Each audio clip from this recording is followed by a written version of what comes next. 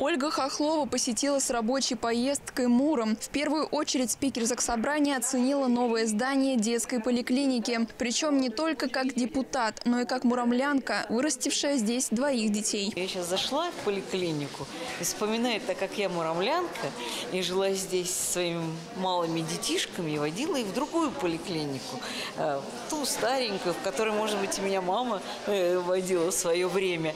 А, Но здесь вообще земля и небо. Конечно, совершенно разный уровень, начиная от регистратуры, а как, это как в театре, да?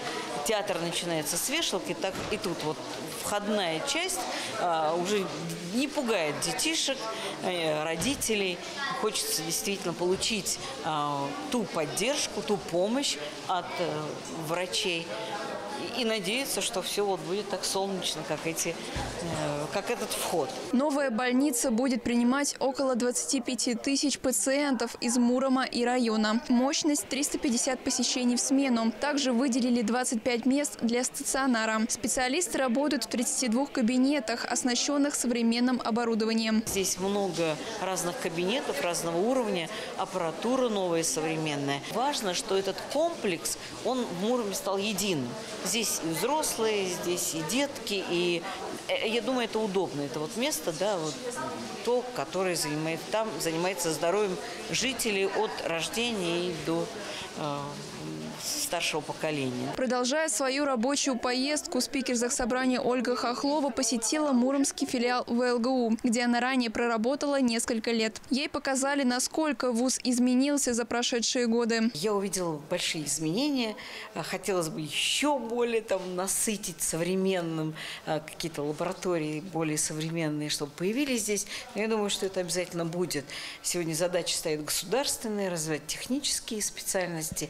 Поэтому вот э, будущее есть у нашего вуза. Спикер ЗС также обсудила со студентами их предложения об улучшении вуза. Например, грантовое обучение, да, выиграть грант и учиться по той или иной специальности. У нас есть целевое направление, у нас есть конкурсные поступления, и если будет добавлен еще грант, но в зависимости от кого, кто должен а, быть грантодателем. Грантополучатель у нас понятно, обучающий, а грантодатель не обязательно, чтобы это был а, бюджет региональный или местный, это может быть производитель. Пример такого производства – деревообрабатывающий завод «Муром», в котором также побывала спикер ЗС. Генеральный директор завода рассказала, что технологии, с которыми работает организация, уникальные. Производство почти безотходное, при этом завод может делать высококачественную продукцию даже из низкокачественного сырья. В конце дня председатель Заксобрания провела несколько личных встреч с епископом Муромским и Визняковским Нилом.